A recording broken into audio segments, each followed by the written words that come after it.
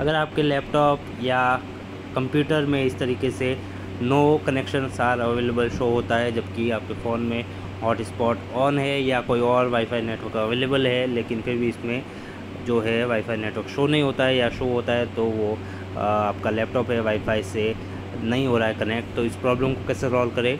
तो इस वीडियो को एंड तक देखना।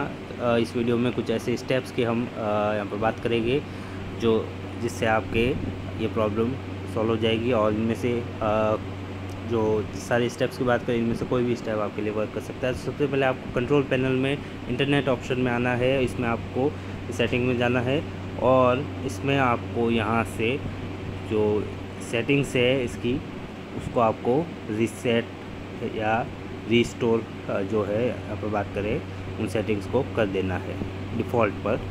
ठीक है? फिर अप्लाई और ओके अब इसी में आपको एक ऑप्शन दिखेगा यहाँ पर। यहाँ देख सकते हैं। डिवाइस मैनेजर का।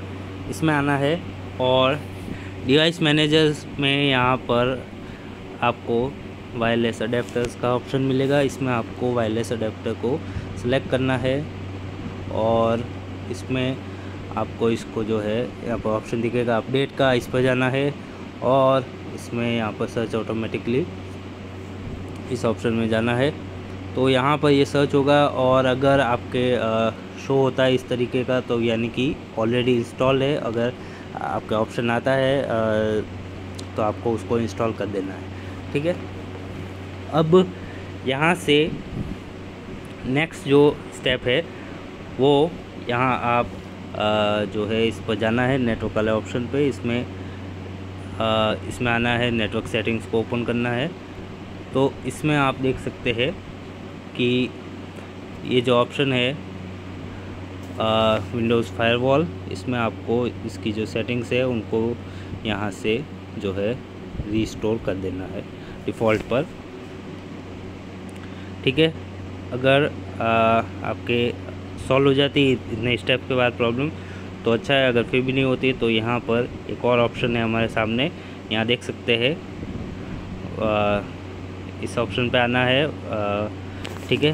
फिर इसमें आपको इस वाले ऑप्शन को सेलेक्ट करना है और जो है यहाँ पर आपको इसको है, जो एक बार यहाँ पर बात करें, इस ऑप्शन को आपको डिसेबल कर लेना है और फिर इसको फिर से यहाँ से आपको इसको यहाँ पर बात करें इनेबल करना है, ठीक है? आप इसको यहाँ पर बात करें डायग्नोस भी कर सकते हैं। तो अब जो नेक्स्ट स्टेप है वो होगा यहाँ से।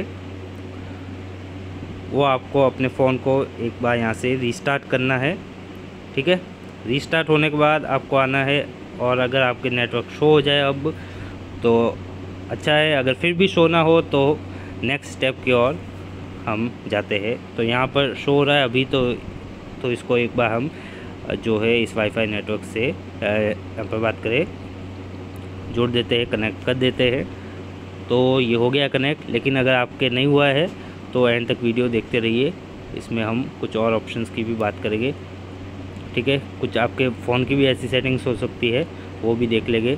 तो यहाँ पर अगर आप नेटवर्क सेटिंग में फिर से जाए तो यहाँ पर आपको एक ऑप्शन मिलता है ट्रबल शूट का। तो उससे पहले यहाँ पर आपको इस वाईफाई नेटवर्क को यहाँ से जो है डिस्कनेक्ट कर देना है एक बार और फिर आना है ट्रबल शूट में। और यहाँ से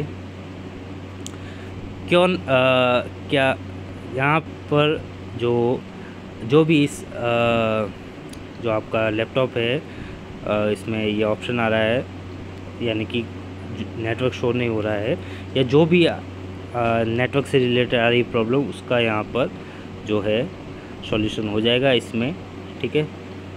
तो जैसे कि यहाँ पर